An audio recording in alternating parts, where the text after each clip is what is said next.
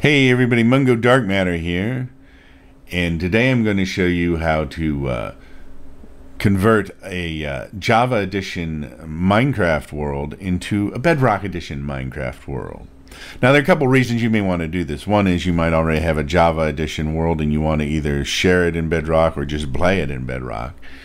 The other reason is you may want to use certain tools that are only available in Java, like World Painter, where you can create your own terrain and uh, create a map using Java and then play it in Bedrock or share it in Bedrock, or you can share it in both versions if you want. Uh, anyway, let's get started with this. I built this simple structure right here, just so we know this is the world. Now, it will save any structures you build. And if we go around here, you can see we have uh, a desert biome, badlands biome, and over here we have a jungle biome. Uh, so this is uh, basically what the world looks like here. So we're going to escape back and save and quit to the title real quick. We're going to go to single player mode. We're going to select this world, my Java world. This is the world we were just in. We're going to go down here to edit and go to make backup. You can see uh, the world's uh, 50 megabytes right now. It, it only includes in the backup um, the world you've explored and the things that you've built in the world. Uh, so the more of the world you explore, the larger the world will get. There is a limit uh, uh, to how big of a world you can currently convert. Uh, so that's something to be aware of. Uh, if you explore too much of it, you, it may be too big for you to convert the whole thing, but you can convert a section of it in that case. Uh, so let's go back here and select my Java world again and go back to edit. And we're going to go right here to open backups folder. And this is the folder where it saves the backups. Uh, now you can go right to this folder if you want to when we do the conversion or to pull the file to do the conversion. But the easier way to do it is to select this file that we want to uh, convert and copy it. And I've already made a folder um, called uh, Minecraft Worlds. It's just under my C drive. You can create a folder named anything and just paste that file in there. And that way you can find it easily. You can basically paste the file or move the file, a copy of the file, to anywhere that you can find easily. Now the uh, the next thing we need to do is we need to go to um, a uh, website here, and it's called Chunker.app. And this is the official um, conversion tool for Minecraft. And uh, you, you want to use this tool probably in lieu of some of the older tools just because uh, this tool is supported by, by Minecraft. And as there are new versions of Minecraft, they should update this to support new blocks and features and such. Uh, so once we get here, there are two ways to upload a world that you want to convert. The first is to choose the world folder, which is going into the the Java directory where the world folder is saved. And the other one is to upload an archive, uh, which is a zip file or a dot uh, MC world file. And uh, we just created an archive, a zip file, when we backed it up. So let's click on this to upload our archive. We want to navigate to the folder where we have saved our uh, backup and select it and click open.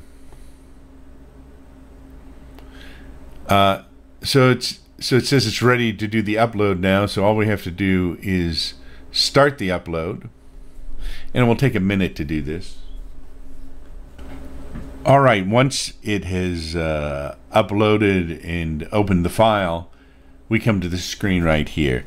Now, it will take longer depending on how big the world is that you're converting. So, so if it's a small world, it will just take a minute or two. If it's a huge world, it might take a little bit longer. And uh, so we're given a choice of here of what we can export it to which is nice. So we can export it to the latest version of Bedrock, or we can export it to a previous version, uh, or we we can actually can export it to a different version of Java. So if we if we want to uh, uh, do that, there's not really much of a purpose to do that uh, as far as if you want the latest version of Java, you can just open it up in the latest version of Java and it will automatically convert it. But if you want it in a previous version, you could theoretically uh, do that as well. And the reason you would want to do that is if you were going to put it up on a server, uh, in, in the server was an older version for whatever reason. Uh, so uh, let's just uh, pick the most recent available version right here. And uh, at this point, once we select the version, we can go here and convert and download our uh, file if we want to. Uh, but we're going to go to advanced mode before we convert it over to show you uh, some of the features that you can do when you're converting uh, over. A lot of times you may just want to just convert and download, but let's go into advanced features. First nice feature about this is it's going to generate a, uh, a map for us which is just a preview map. Uh, so if you uh, if you look here, you can see the structure that I built right here. We can also go back and switch uh, switch the mode. So if we decide we want it in a different version, we can go back to that as well.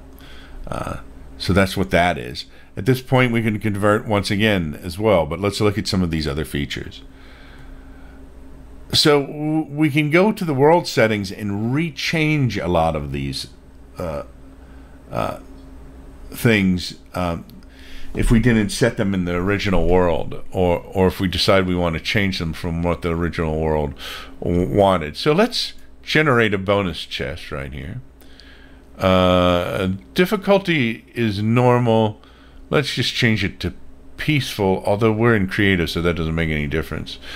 Uh, but if we switch to survival, it would put it in peaceful. Um, so we can actually change the spawn location. We're going to just use the default spawn location. Uh, we can turn on experimental play. Uh, uh, so uh, we have bonus chest enabled. Let's have it spawned as well because the area that we're copying would be where the bonus chest spawned. And since we didn't have that initially in there, I think we need to turn both on to get that to work. Uh, so you can go through all of these things and and uh, let's turn off do daylight cycle uh, so that it just stays on daylight uh, you can turn on keep inventory. So you can go down all of these. These are basically the things you could have set up when you originally set up it. But this gives you a chance to change them. Uh,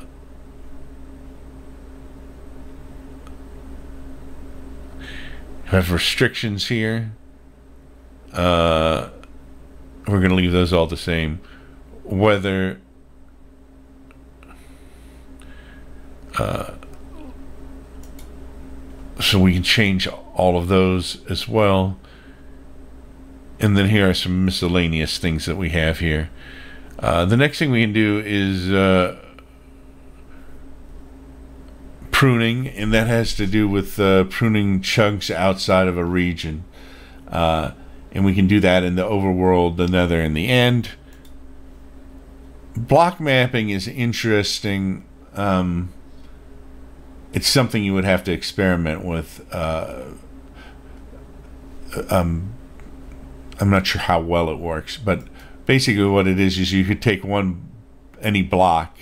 For instance, you could take a block of sand and make it into a block of dirt. So, if, so if you wanted to change all of the sand into dirt for some reason, or all of a certain type of block into something for a particular reason, you could do that. Uh, but I suggest experimenting with that and being kind of careful about it because it will turn every block of sand into dirt if that's what you want to change everything into. Uh, and and that might have uh, consequences to it. Like if you built houses out of stone and you turned them all into water, it would destroy all the houses basically because they would turn into water and you know, just flow away basically. And I'm going to leave these converter settings to what they are. There's some different settings on there as well. So just be aware there's a there's a uh, advanced mode. You can change the world settings in a lot of these things, and some of these things may change in the future. They may add certain things to this in the future as well uh, as they update this. Uh, so now we that we've gone through the advanced um, settings, let's click on convert. Now it puts you in a queue because it's doing this on a server, and it looks like it's converting it pretty fast for us, but it might take longer if you have to wait. And it will take a few minutes for it to do the conversion once it starts. I've downloaded the file and I've gone into the uh, Windows version or the Bedrock version of Minecraft. And so I'm going to click on play. And up here it says create new, but next to it, has this little uh, arrow here, and that's to upload a world. So I'm going to click on that. And I already have it. I copied it to the same folder that I used to make the backup. Except this has uh, MC World ending on it. So this is this is what I downloaded. So I'm going to select this and I'm going to click on import. And it imported the world already and you can see my uh, Java world right here. And if I click on that and load it. All right, so here's our Minecraft uh, world right here. Uh, here's the structure that I built and if I go up into the air you can see over here we have the jungle biome the badlands the desert and everything so this is the world that I created in Java and I now have it in uh, Minecraft Bedrock Edition so that's how you convert from the uh, Java edition to the Bedrock edition in Minecraft I'm Mungo Dark Matter, and this has been Dark Matters. And whatever you do, enjoy playing Minecraft, enjoy the day, and I'll see you soon. Don't forget to like, share, and subscribe.